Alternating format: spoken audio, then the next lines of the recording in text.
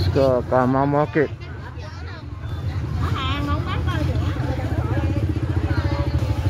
with the butcher shop